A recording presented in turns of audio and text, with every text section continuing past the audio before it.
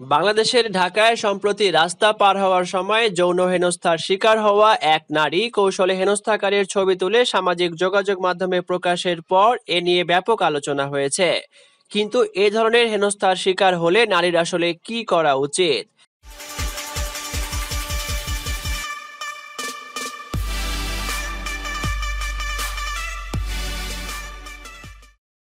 বাংলাদেশের সড়কে ফুটপাতে কিংবা জনসমাগম হয় এমন স্থানগুলোতে দৈনন্দিন প্রয়োজনে চলাফেরার সময় ঠিক কতজন যৌন হেনস্থার শিকার হন, তার সঠিক কোনো পরিসংখ্যান জানা যায় না।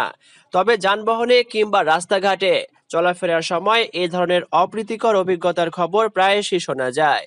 চলতি বছরের শুরুর দিকে বেসরকারি সংস্থা ব্র্যাক পরিচালিত নারীর জন্য যৌন হয়রানি ও দুর্ঘটনা মুক্ত সড়ক শীর্ষক এক গবেষণায় দেখা যায়, গণপরিবহনে যাতায়াতের সময় চুরানব্বই শতাংশ নারী কোনো না কোনোভাবে যৌন হয়রানির শিকার হচ্ছেন। আর হেনস্থাকারীদের অধিকাংশই মধ্যবয়সী বা বয়স্ক পুরুষ। এই জরিপের তথ্য অনুযায়ী একচল্লিশ থেকে ষাট বছর বয়সী পুরুষদের দ্বারা এ ধরনের যৌন হয়রানি বেশি হচ্ছে।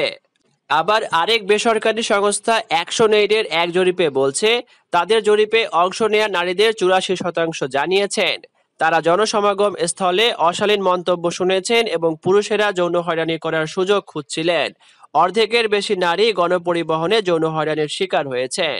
আবার কয়েক বছর আগে বিশ্ববিদ্যালয় পর্যায়ে পরিচালিত এক জরিপে দেখা যায়, বিশ্ববিদ্যালয় জীবনে ছিয়াত্তর শতাংশ ছাত্রী কোনো না কোনোভাবে যৌন হয়রানির শিকার হন। এর মধ্যে সরকারি বিশ্ববিদ্যালয়ে এই হার সবচেয়ে বেশি, সাতাশি শতাংশ, আর বিশ্ববিদ্যালয় কলেজগুলোতে ছিয়াত্তর শতাংশ।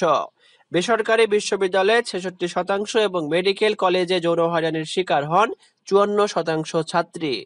কিন্তু হেনস্থায় শিকার হওয়া নারী কি করবেন? রাস্তাঘাটে বা যানবাহনে হেনস্থা বা যৌন হয়রানির শিকার হলে তাৎক্ষণিকভাবে প্রতিবাদের উদাহরণ বাংলাদেশে কমই দেখা যায়। কেউ কেউ এখন বিষয়টি সামাজিক যোগাযোগ মাধ্যমে প্রকাশ করলেও নানা ঝাক্কি ঝামেলার ভয়ে পুলিশের কাছে অভিযোগের সংখ্যা খুব বেশি হয় না। তবে সম্প্রতি একজন নারী এভাবে হেনস্থা হওয়ার পর কৌশলে হেনস্থাকারীর ছবি তুলে সামাজিক যোগাযোগ মাধ্যমে প্রকাশ করেছেন। তবে ভিকটিম সাপোর্ট সেন্টারের দায়িত্বে থাকা পুলিশের ডিসি ফরিদা ইয়াসমিন বলেছেন, ঘটনার সাথে সাথে চিৎকার করে প্রতিবাদ করতে হবে। যদিও কোনো নির্জন স্থানে ঘটে, তাহলে নারীকে নিজের নিরাপত্তার বিষয়টি নিশ্চিত করতে হবে এবং এক্ষেত্রে নিজের বুদ্ধিমত্তার প্রয়োগ ঘটাতে হবে কৌশলে।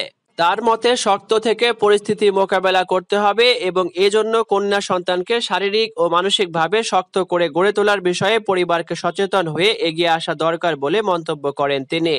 ফরিদা ইয়াসমিন বলেন, রাস্তাঘাটে বা যানবাহনে হুট করে কোনো হেনস্থার শিকার হলে সোচ্চার হয়ে প্রতিবাদ করতে হবে যাতে অন্যদের দৃষ্টি আকর্ষিত হয়। হুট করে কোনো ঘটনা ঘটলে সঙ্গে সঙ্গে প্রতিবাদ করা বা চিৎকার করার মাধ্যমে আশেপাশের মানুষকে ঘটনার সম্পৃক্ত করা উচিত। এসব বিষয়ে প্রায়ই একমত দিয়েছেন আইনজীবী আফরোজা আক্তার তিনিও বলেছেন, যত দ্রুত সম্ভব একেবারে নিকটস্থ থানায় যেতে হবে। এ সময় সম্ভব হলে ঘটনাস্থল থেকে বা তার সাথে কেউ থাকলে তাকেও সাথে নেওয়া উচিত। কারণ এটি সাক্ষ্য হিসাবে গুরুত্বপূর্ণ ভূমিকা পালন করবে। আর পুলিশের উচিত অভিযোগ পাওয়ার সঙ্গে সঙ্গে ঘটনাস্থলে কাউকে পাঠিয়ে তদন্ত করা। এক্ষেত্রে রাস্তায় বা আশেপাশের ভবনে থাকা সিসিটিভি ফুটেজগুলো সহায়ক হতে পারে। আফরোজা আক্তারের মতে, রাস্তাঘাটে অযাচিত স্পর্শ বা এ ধরনের যৌন হয়রানির যেসব ঘটনার শিকার মেয়েরা তাৎক্ষণিকভাবে হয়ে থাকে, তার প্রতিবাদ হওয়া উচিত সঙ্গে সঙ্গেই।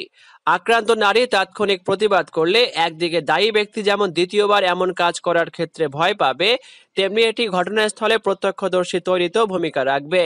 একই সঙ্গে থানায় গিয়ে ঘটনা ও হেনস্থাকারীর সম্পর্কে বিস্তারিত তথ্য দেওয়ার চেষ্টা করা উচিত বলেও মন্তব্য করেন তিনি। পুলিশ কর্মকর্তা ফরিদা ইয়াসমিন বলেন, তার মতে ছবি বা ভিডিও করে সেটি সামাজিক যোগাযোগ মাধ্যমে না দিয়ে, বরং তাৎক্ষণিকভাবে স্থানীয় থানায় দিলে দ্রুত অপরাধীকে আটকে ব্যবস্থা নিতে পারে পুলিশ। ফরিদা ইয়াসমিন বলেন, যখনই ঘটনা ঘটুক এবং হেনস্থা বা হয়রানি হোক, যাই হোক, দ্রুততার সাথে স্থানীয় নিকটবর্তী থানায় অভিযোগ করা উচিত। আইনজীবী আফরোজা আক্তার বলেন, দায়ী ব্যক্তির ছবি বা ভিডিও সংগ্রহ করে রাখলে সেটিও আইন শৃঙ্খলা রক্ষাকারী বাহিনীর জন্য সহায়ক হবে। এক নজরে করণীয়, পুলিশ ও আইনজীবীর পরামর্শ। এক, চিৎকার দেয়া ও প্রতিবাদ করা।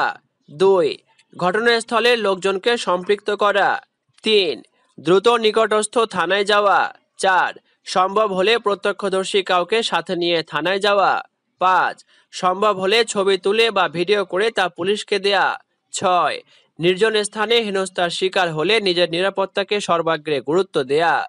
সাত, নিজের বুদ্ধিমত্তার প্রয়োগ। আট, কেউ আক্রমণ করলে তাকে শক্তভাবে প্রতিহত করা।